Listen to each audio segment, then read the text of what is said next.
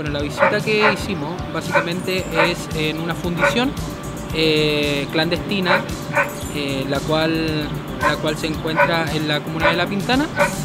Eh, esta fundición cuenta con, con muchas condiciones inseguras para los trabajadores también y también condiciones hacia la comunidad, ya que genera emanación de olores, emanación de polvillo, el cual puede generar un riesgo para la salud no tanto de los trabajadores, sino que también para, la, para las casas aledañas de este terreno.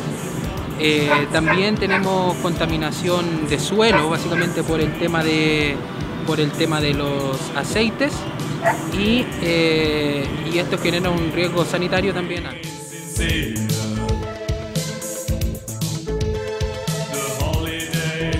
ahora se, va a cursar un sumario sanitario, el cual consta de dos partes. La primera parte es eh, el sumario sanitario, citar a la empresa para que comparezca ante el departamento jurídico y luego de eso verificar que, cumplan con las condiciones eh, mínimas que se establecen en el decreto supremo 594.